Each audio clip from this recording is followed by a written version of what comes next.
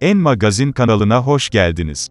140 Journos'un yayınladığı Kedicik belgesi, tutuklanan ve binlerce yıl ceza alan Adnan Oktar'ın örgütünü yeniden gündeme getirdi.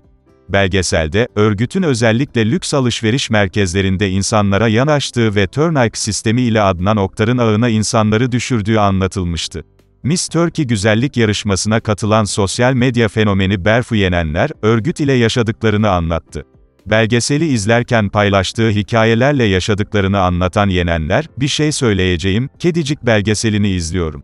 Akıl tutulması yaşıyorum. Buradaki kız düşürme düzeneğinin neredeyse birebir aynısını ben üniversitedeyken yaşamıştım. Allah'ım kimsenin de günahını almayayım ama kafayı yiyeceğim ya, dedi.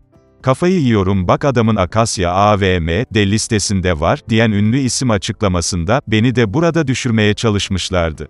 Benim bunu bir sindirip anlatmam lazım arkadaşlar. Ben ne yaşamışım, cümlelerine yer verdi. En magazin haberler için, kanalımızı takip edip bildirimleri açmayı unutmayın.